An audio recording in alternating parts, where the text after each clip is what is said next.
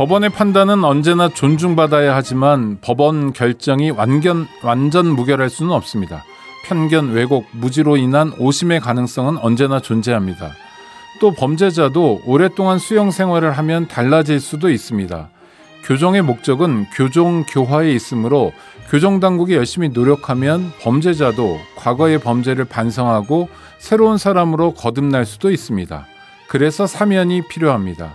비록 법원 판결이 있었지만 사법제도 자체가 한계가 있을 수밖에 없는 인간과 제도의 작업이기 때문에 그 허점을 보완하자는 겁니다.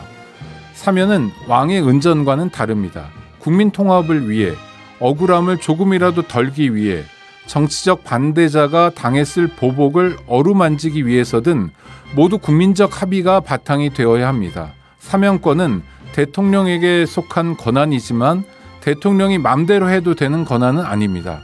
어제 한덕수 국무총리는 이재용 삼성전자 부회장, 신동민 롯데그룹 회장 등 재벌 총수들의 사면을 대통령에게 건의하겠다고 말했습니다.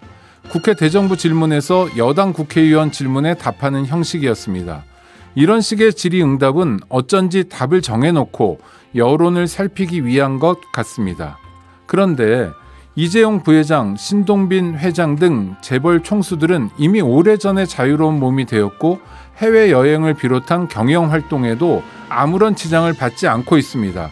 그런데도 여당 의원과 국무총리가 주거니 받거니 하면서 재벌 총수 사면을 이야기하는 건 적절치 않습니다.